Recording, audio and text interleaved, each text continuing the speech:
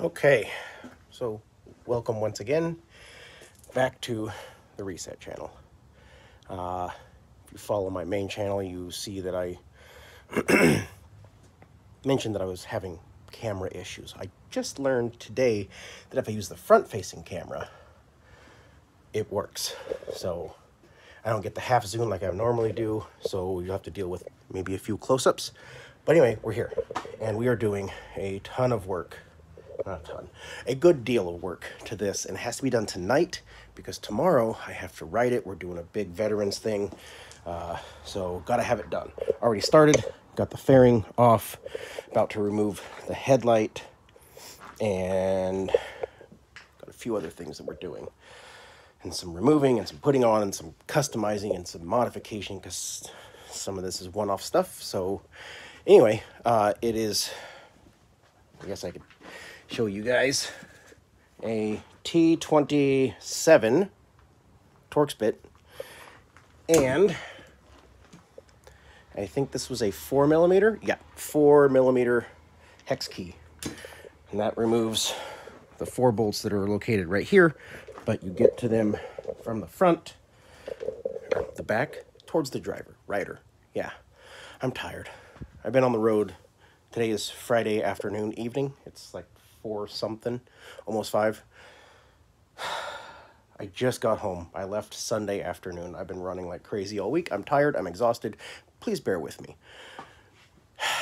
Anyway, I'm going to get back at it. I'll catch up with you guys in a bit. Okay, so we got the headlight off.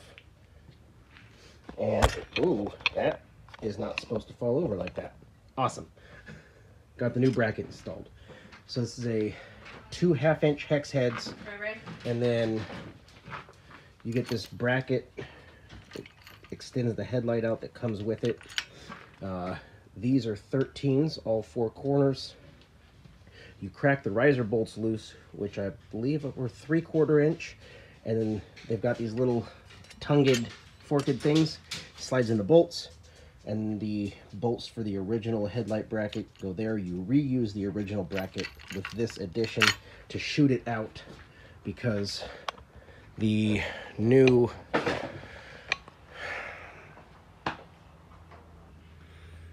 fairing requires the light to be further out. Now, I also got that installed, which is a far more complicated process than it should be. So let me show you.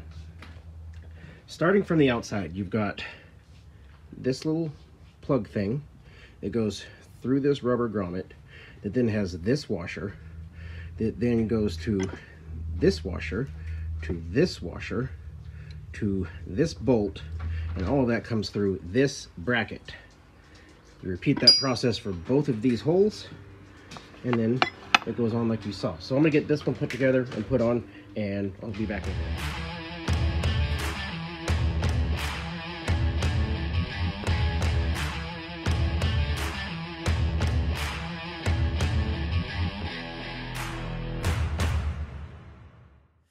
Okay, so I had some parts, or it's not some parts, some video clips get corrupted and I didn't record everything that I had wanted to, but it's installed. so, it's trying to go over what we missed.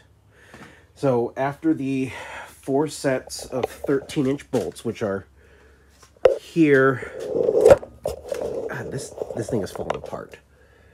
So, there's one here, and there's another one down there.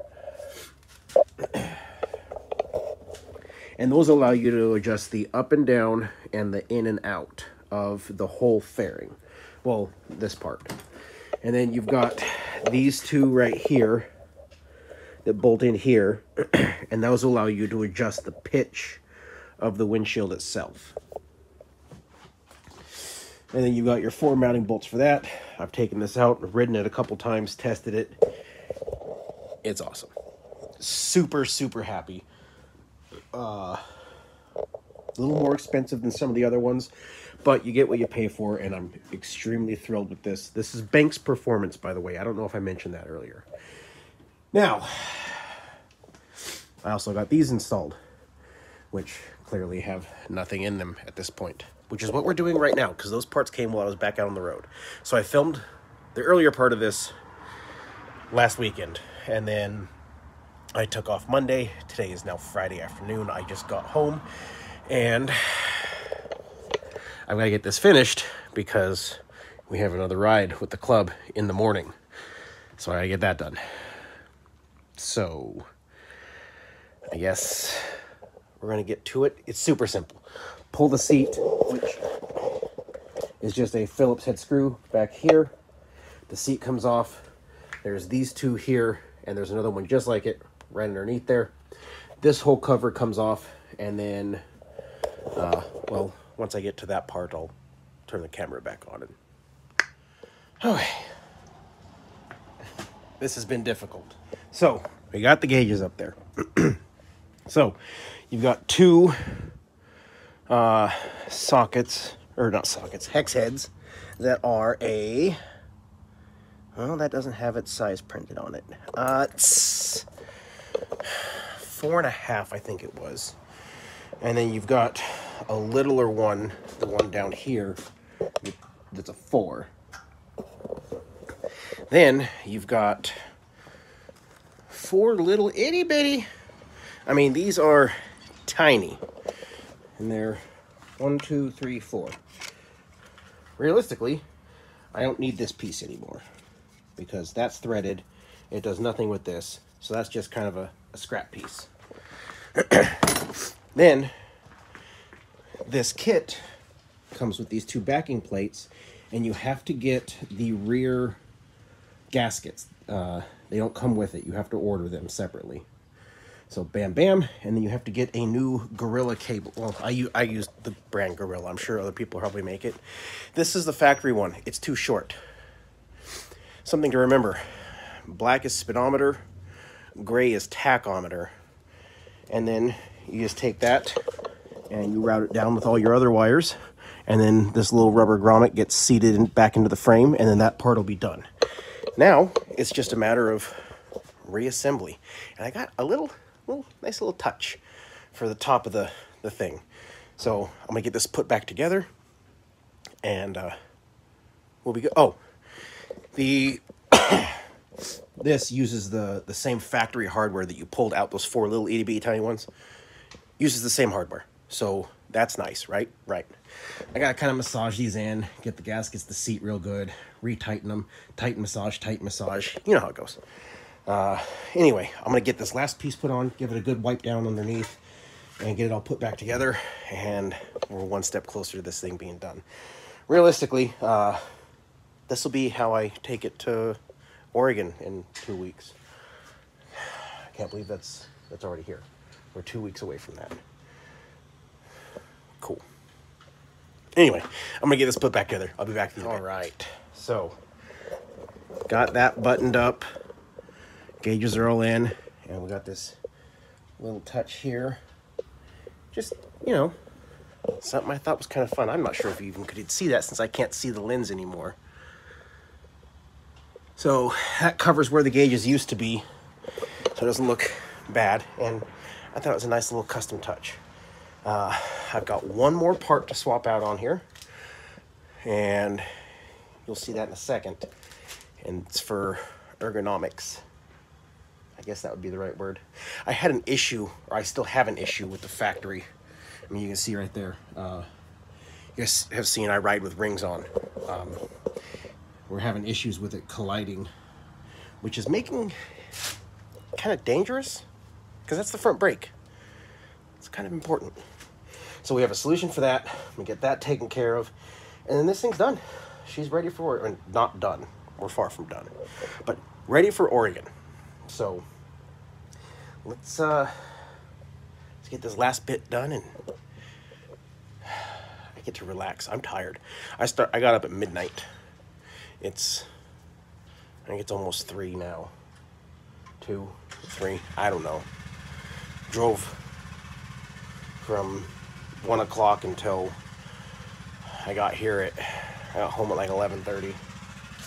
I've been working on this. I'm tired. I want to relax. I want pajamas. I want a cold beer. All right, let's get back to this. I'll be back in a bit. So before I got started this, I wanted to show you. That's the difference between the OEM and the the ones that I ordered. See how that's that elbow right there is where I was hitting. I hope you guys can see that. You can't. Right there. That bend is where I was hitting. See, I was kind of scuffed up. Look how much further forward this sits. This is going to solve my problem really well. I'll be right back. Okay. Got the first one on. Now, very important note on the brake lever. When you go to put it back together, this arm right here has to be pushed in. You have to like just kind of hold it like you're kind of pulling the brake because there's a little rubber plastic plunger right inside there. It activates your brake light. And if you don't have that away from the plunger when you slide it in, it breaks the plunger. Ask me how I know. Anyway, got that done. This one's all put back together. And I can tell you right now, there is a huge difference in the amount of room in there. I'm so much happier. And I now have one finger operation because of the way this lever is designed. And that makes me very happy. Let's go ahead and get the other one knocked out. Real simple process.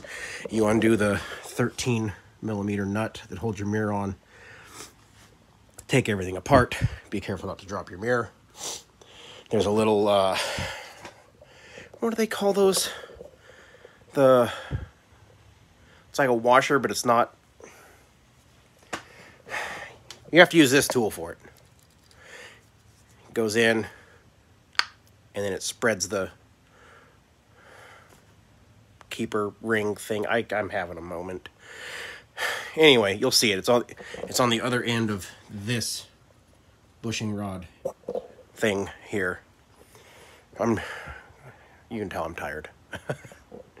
anyway, take that thing off, knock the pin out, put the new one in, put the pin back in, put it all back together. Easy, easy day. Now I'm gonna do the same thing on the clutch. The only difference is we have to deal with the clutch cable this time, which won't be too hard, but it's still something I gotta deal with. I'll be back. All right, bad news, bad news. Got it all done. Levers are installed. Everything's functional. Everything's good. But my clutch won't disengage. And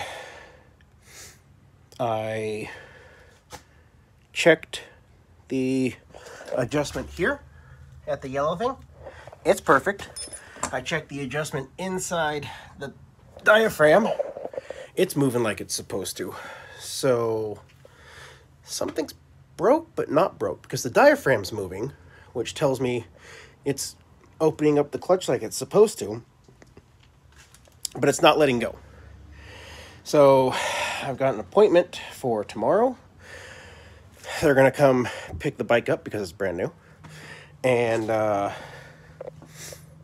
let's see if we can't get this fixed. Yeah. All right great because we've only got, you know, 14 days to ride to Oregon. Great. All right. That's going to do it for this video. Uh, I'll keep you all updated. And, well, see you in the next one. all right. So I decided to try one more thing. Uh, just kidding. The video's not over, by the way. I wheeled it out into the driveway. You know, because I've got a nice gravel driveway and I grabbed the front brake as hard as I could and I stuffed it into first gear. And it spun the tire for a second and then it was fine. Like it was fine. So something was just hung up. I don't know. I mean the last time I rode it before I parked it I rode it pretty hard. So it may just kind of got you know a little bit jammied. I don't know.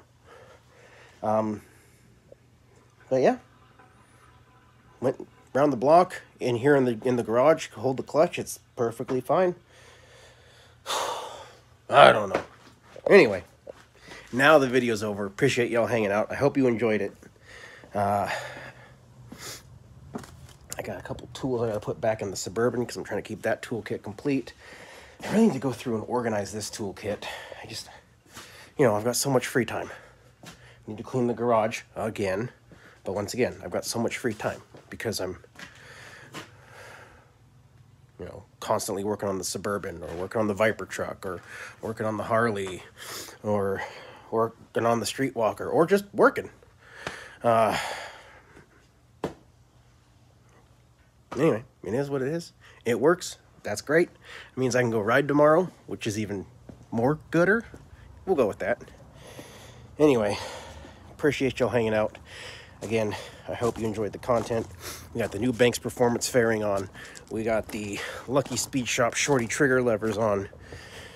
We got the Memphis Shades knuckle guards on. We got the, I have no idea what company it is, but the fancy little gauge relocator. We got the FXR Division gauge relocation kit. She's coming along. Got two more cosmetic modifications. Oh, oh, maybe a couple more than that. But she's coming along. And I've got the uh, most of the, I have one more expensive piece. The rest of it's fairly cheap. So she's coming along nicely.